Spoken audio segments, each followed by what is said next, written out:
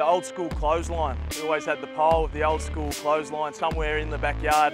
And the leg side boundary was uh, the backyard fence to the next door neighbour, so it wasn't a whole lot of leg side play, so you had to sort of give yourself some room and try and hit through the offside. And The pitch was a concrete path that led to the clothesline. The clothesline was the stump, so pretty small targets as young kids. And the concrete path gave us a fair bit of bounce. Uh, the wicket was grass uh, on a bit of a slope, Uh, a little bit like Lord's, so going away from both of us being left-handers. Yeah, we put like this, you know, sort of hessian tarp down and play with like a soft ball. So we're like we're playing in like Chennai, you're playing in spinning conditions. and rebounds were in play. So we used to hit it off the caravan and try and get a catch off that.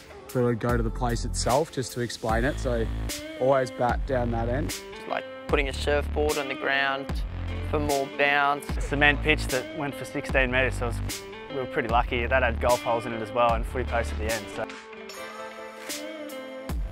Uh, mainly it was a taped up tennis ball for us.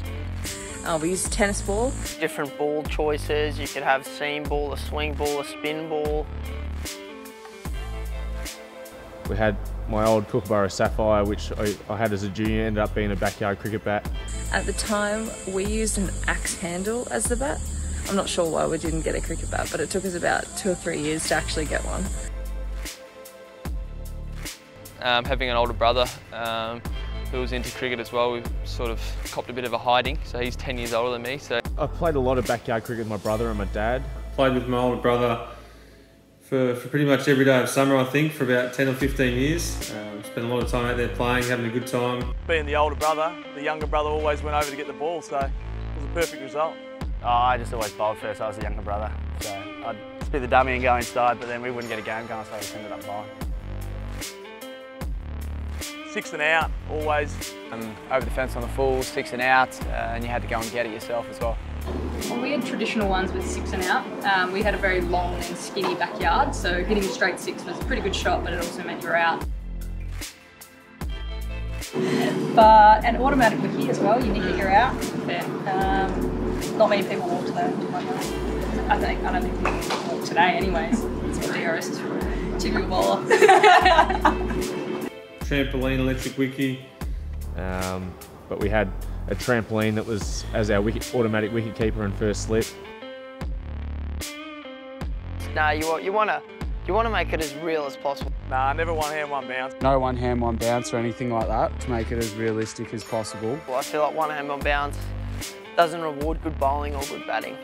Well, one hand was just one hand. We didn't do one hand, one bounce. It's all professionals. well, we did in my house. Well, it's a bit, two bounce headbutts a bit, uh, bit dangerous on the concrete, but I mean, pretty self-explanatory. If it's not one hand, one bounce, if it bounces twice, you just lead with the head, uh, which can be dangerous, but also quite fun.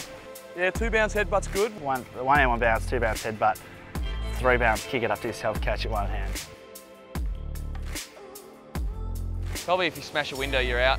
Used to be able to pick one tree as a bowling side. Yeah, occasionally we'd wet the wicket, make it a bit quicker, but pretty slow wicket and, and grassy. But uh, Uh, Mum's car was always quite close to where the stumps were, so if you hit her car in the full, that was out. I always say the best backyard games are, are bowling dominant games.